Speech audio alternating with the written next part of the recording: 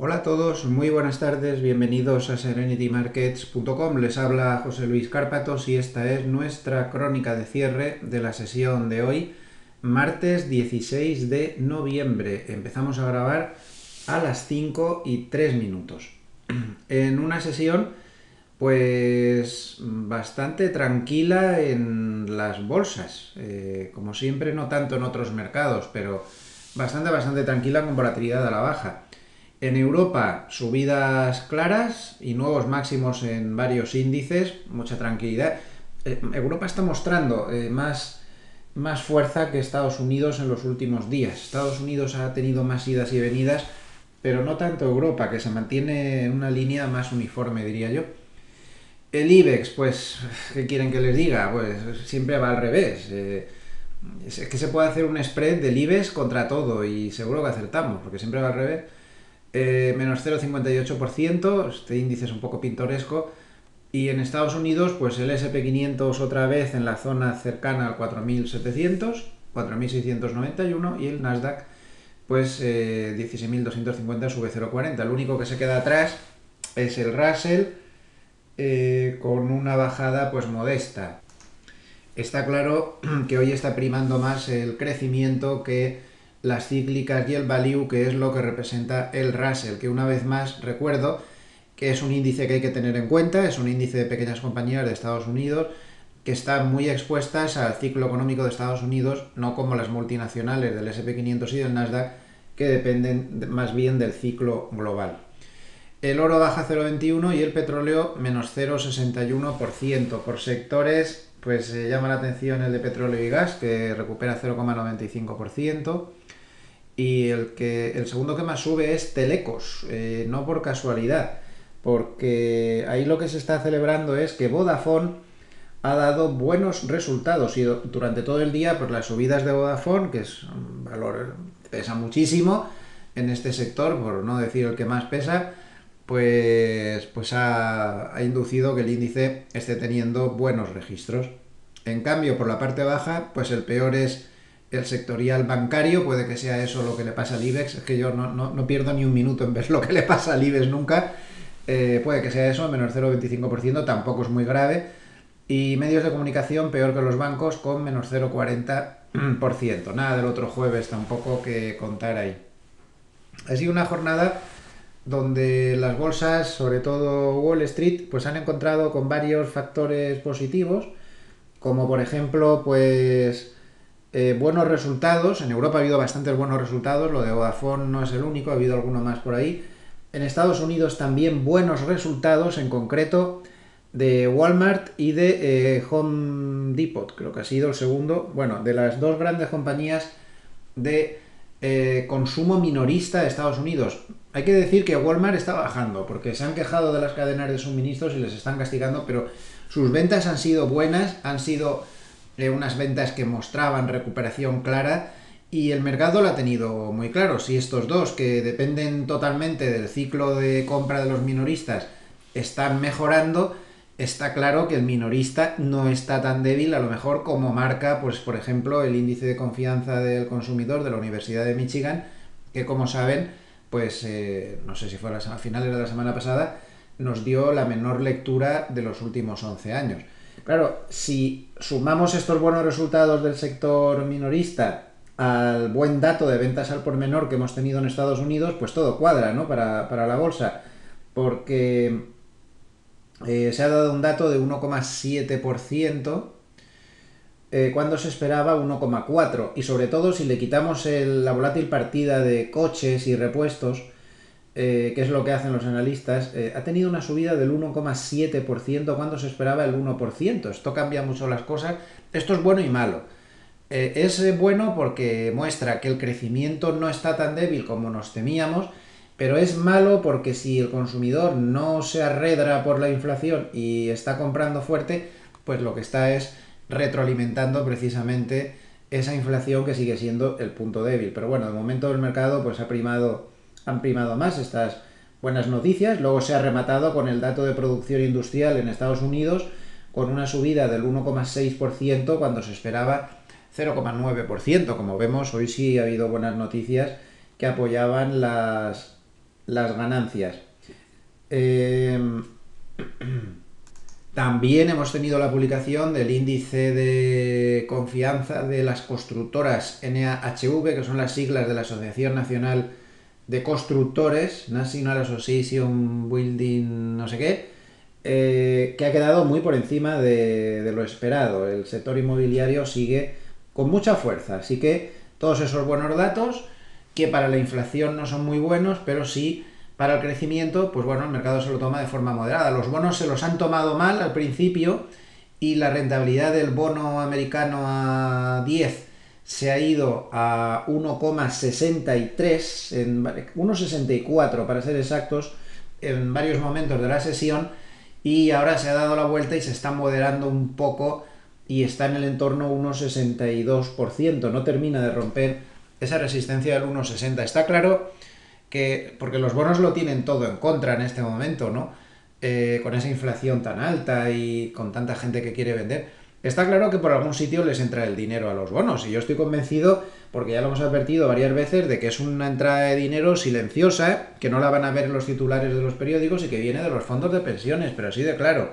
Porque ya hemos explicado que los fondos de pensiones están totalmente financiados al 100% por primera vez desde el 2008 y por puro sentido común los gestores están saliendo de bolsa y se están metiendo en bonos y a dejarlo correr porque con lo que les ha costado después de la crisis del 2008 volverse a poner con sus números correctos, pues eh, es totalmente comprensible. Para las bolsas encantadas, el, hecho de que los bonos estén calmados a la bolsa siempre le viene bien, especialmente al Nasdaq. Eh, la cesta de materias primas hoy también ha recuperado posiciones, más 0,78%, aunque el sectorial de materiales básicos pues, se queda más rezagado, con una subida de 0,19. También destacar el sector de automoción con más 0,77%. El sector minero se ha beneficiado de, de las buenas o de la calma que había esta noche en, China. Eh, de nuevo en Asia pues ha habido una sesión bastante tranquila con el Nikkei ganando 0,11 y todo esto venía, todo esto de la sesión tranquila en China, de las ganancias del Nikkei, pues han venido por uno de los acontecimientos de la jornada, que yo creo que no va a significar nada y se va a olvidar el mercado en menos de... que en menos, ya, ya se ha olvidado, eh, pero esta mañana sí pesaba favorablemente pues una conversación que han tenido esta noche el presidente de Estados Unidos Biden y el presidente chino Xi. Eh, la reunión, pues sí, el rollo de siempre, muy positivo, bla, bla, bla, bla, bla, bla, pero ningún acuerdo. Los chinos siguen estando a punto de invadir Taiwán y si no algún día verán qué susto nos llevamos. Y se acuerdan de la fase 2 del acuerdo comercial, todo eso ha quedado en agua de borrajas y recordamos que los dos siguen eh, poniéndose mutuamente unos aranceles de locura que están perjudicando notablemente el comercio mundial. De eso ya nos hemos olvidado, pero eso sigue exactamente ahí. Así que me parece que es algo anecdótico, a lo que no le daría mayor importancia, pero también pues ha sido un factor que ha ayudado a esta tranquila sesión bursátil, excepto algunos índices como el IBEX o como el Russell, aunque lo del IBEX es más, es más, eh, tiene las caídas más importantes. Eh, hoy, esta mañana también ayudaba un pronóstico optimista que daba Morgan Stanley que decía que los cuellos de botella están reduciéndose. Claro, ese es un problema gravísimo. Si los cuellos de botella empezarán a reducirse de verdad, el tema de la inflación podría tener más posibilidades de ir a calmarse. Morgan Stanley lo que alegaba era que, según sus cálculos, la producción de semiconductores desde Malasia, que no es precisamente el sitio del mundo donde más hay, donde más se produce es en Taiwán, con muchísima diferencia respecto a todos los demás países juntos, pero en Malasia, demuestra un botón, pues se estaba recuperando prácticamente ya 100% toda la cadena de suministro de microchips en, ese país. Por cierto, que Morgan Stanley pues sigue siendo eh, pesimista respecto al 2022. Poco a poco van llegando las, las previsiones para el año que viene de los diferentes bancos de inversión. Hay que verlo eso siempre porque más por las previsiones, que es un poco disparo al aire, luego las cambiarán mil veces a lo largo del año, un poco por los conceptos ¿no? que, que explican. Morgan Stanley habla de 4.400, es decir, bastante por debajo de donde estamos ahora, que estamos en 4.700, alegando que esto pues, ya no tiene más recorrido. La verdad es que es un disparate el mercado que tenemos, esto es un disparate, esto es un disparate. Y este mercado ya no tiene solución, este mercado no va a corregir poquitas cosas, este mercado es estilo 1999, o se da una castaña demoledora de varios meses de duración. O, esto no, no. Es que no, este tipo de mercados a mí me recuerda mucho, porque yo lo he vivido también. 1999, vuelvo a repetir, es que estábamos así pensando que era imposible que esto bajara, que había tal locura y tal eh, ceguera por parte de los inversores. En aquel momento lo que estaba recalentado eran algunas tecnológicas, ahora son otras cosas y todo en general, pero pensábamos lo mismo, que este mercado era invulnerable y claro, no lo fue, no lo fue nunca lo es. Pero bueno, de momento pues ahí estamos y parece que de aquí a finales de año, pues como dicen los, los eh, cuantitativos y los que estudian un poco los flujos de dinero, pues para 31 sesión que queda, pues no parece muy fácil que vaya a haber sustos graves. Nunca se sabe. Demasiado confiados estamos todos, pero bueno. Em, bien, pues decía que en estas lecturas de fin de año, hemos dicho ya que Morgan Stanley, de fin de año 2022, Morgan Stanley hablaba de 4.400, Wells Fargo de 5.100, 5.500. Las previsiones que más me han interesado tienen un artículo puesto en portada de la web hablando de este tema. A mí las previsiones que más me han interesado son las de Goldman Sachs. ¿Por qué? Pues muy sencillo, porque Goldman Sachs en titulares ha puesto que tienen previsto que llegue a 5.100 a finales de año. Pues no sé, puede ser. Pero además han dicho que tienen dos escenarios. Un escenario alcista, que sería que aún van los parámetros que ellos han manejado para decir que puede llegar a 5100, que pueden ir mejor, y entonces dicen 5500, eh, un 10% más. Pero lo que más me ha interesado es el análisis que han hecho del escenario bajista. La mayoría de los bancos dan un escenario central cuando hacen previsiones de tan largo plazo, donde pueden pasar muchas cosas, y luego ponen caso base y ponen caso malo y caso bueno. Y bueno, hay una cierta diferencia, pero no una diferencia tan tremenda como la que van a ver ahora. Eh, el escenario bueno es 5.500 en lugar de 5.100, pero es que, perdón, el escenario malo es en lugar de 5.100, 3.500. Por si no se acuerdan ya dónde está el 3.500, pues bueno, no paramos de subir, está aquí, ¿eh? Sigue ahí, está aquí abajo. 3.500 es el escenario base negativo de Goldman. Esto aparece como, como quien dice en la letra pequeña de sus previsiones. ¿Y, qué parámetros tendrían que concurrir para que Goldman, en lugar de decir que debemos esperar 5.100, debemos esperar una caída del 25% nada menos para finales del año que viene? Pues muy sencillo. Y hay que reconocer que Goldman es realista. Dice, sí, nos equivocamos, porque ellos piensan que la inflación es transitoria si nos equivocamos y la inflación no es transitoria, sino que persiste y la Reserva Federal nos hace con ella y acaba dañando además al crecimiento, su objetivo es 3.500. Como ven y que leerse todo en este tipo de cosas, porque los periódicos mañana les van a poner que Goldman dice que 5.100 y no es así.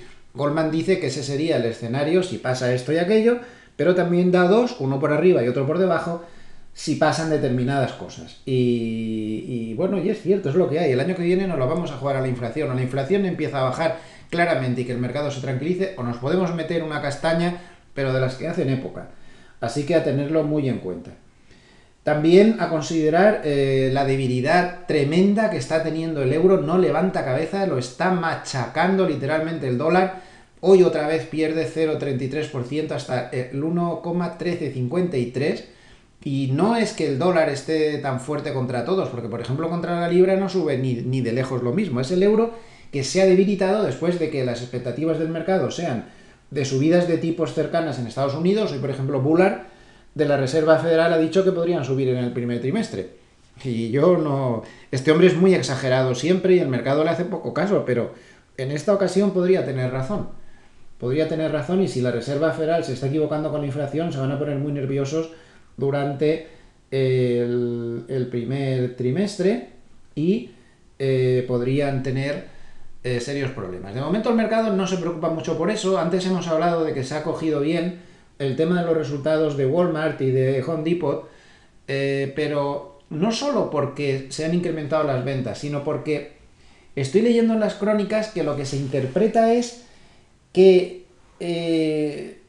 el consumidor no se está viendo afectado como suele ser habitual, en este caso no, por la alta inflación. Y de ahí, pues que esto dé una cierta tranquilidad. Y poco más, eh, desde el punto de vista técnico, que me faltaba, Pues el SP500 yo me empezaría a preocupar si baja de 4.620, eso sería bastante preocupante. Y por arriba, pues eh, tiene el límite en el techo del canal alcista, 4.750, con lo cual aún podría tener alrededor de un 1% más de subida. No olvidemos que estamos en semana de vencimiento de opciones y derivados. Hoy Makelicot lo ha recordado, ha dicho que se abre una ventana de volatilidad a partir de la semana que viene, donde cuando los cuantitativos hablan de volatilidad nunca se refieren a bajada, ellos se refieren a movimientos amplios que pueden ser a la baja o al alza. Ellos lo que esperan es reestructuración del mercado en orden de, de volver a ponerse en marcha. En suma, mercados tranquilos, eh, evolución al alza de las bolsas. Esto sigue dando bastante miedo en el medio plazo, pero de momento a corto plazo, pues eh, no parece que haya de momento muchos sustos. Eh, así que, pues nada, seguir bailando, pero en el descansillo. si total da igual, se oye la música igual, un poco más lejos, pero así sí hay que salir corriendo un día de estos, por ejemplo, a partir de enero o así, eh, pues ya estamos en la escalera y vamos más rápido. Eh, muchas gracias y nos vemos en el vídeo de resumen, pequeño resumen de lo que pase desde aquí hasta el cierre de Wall Street sobre las 10 menos cuarto de la noche. Hasta luego, que pasen buena tarde.